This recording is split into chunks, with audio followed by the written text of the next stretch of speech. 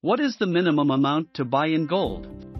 A minimum amount to buy in gold refers to the smallest amount of gold that can be purchased from a dealer or supplier.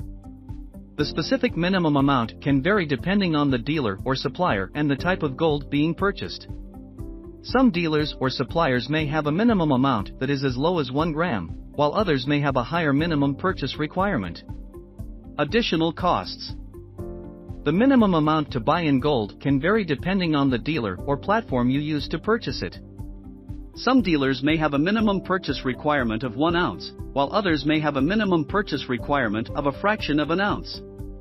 Additionally, some platforms, such as online gold marketplaces, may have a lower minimum purchase requirement than traditional dealers.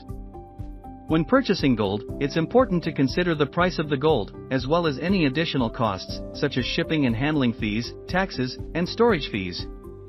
You can also buy gold ETFs, which are traded like stocks, with lower minimum purchase requirements, but you don't own the physical gold, you own a share in a trust that holds the gold.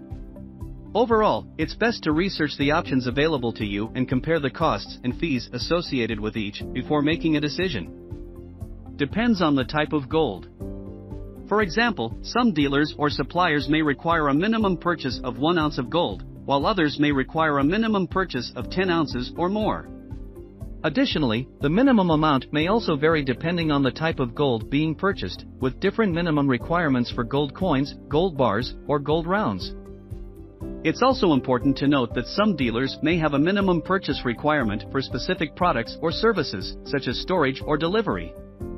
For example, some dealers may require a minimum purchase amount for a storage account or for insured delivery of your gold.